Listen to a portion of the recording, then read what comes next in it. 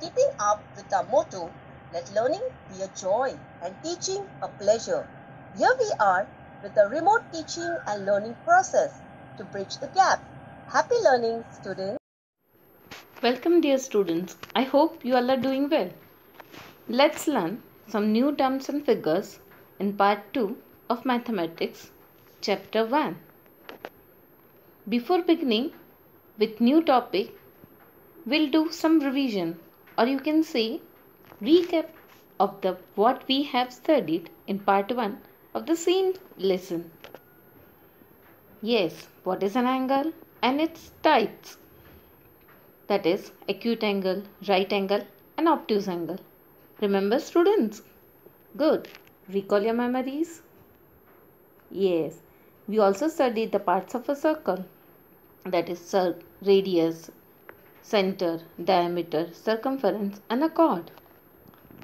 Now, students, let's see some basic geometrical shapes. Here they are. A triangle, a circle, a rectangle and a square.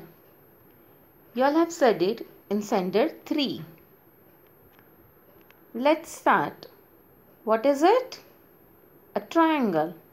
Look at the figure carefully. What it shows? Yes, it shows corner.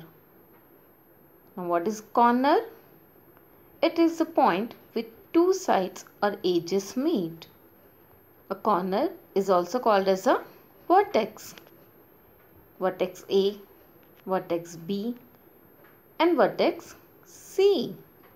A triangle has three vertices. Vertex is a singular form and vertices is a plural form of vertex. Check out in this figure. Yes, vertex A, vertex B and C with its sides. Here you can see sides name. Yes, sides means and edges of the figure. Look here, side AB, side BC, side AC. You can write sides name clockwise or anti-clockwise. Here we go with the next figure. Yes, this is a square. It has four vertices and four sides. Let's write its name. Side PQ, side QR, side RS and side PS. So, a square has four vertices and four sides. Okay, this is a rectangle. Let's count how many sides it has. It has four sides and four vertices. Sides names are side LM, side MN, side NO, side LO. Children, today we are studying the new concept of writing names of sides the given figures. Let's see in this table. We have three different figures. Answers are also given. Check out the answer column. Names of sides. Take the first figure. Yes, triangle PQR. Its sides are side PQ, side QR and side PR.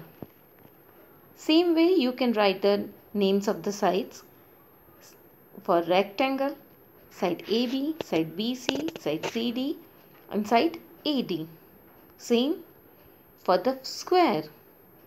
Yes, side UV, side VW, side WX and side UX.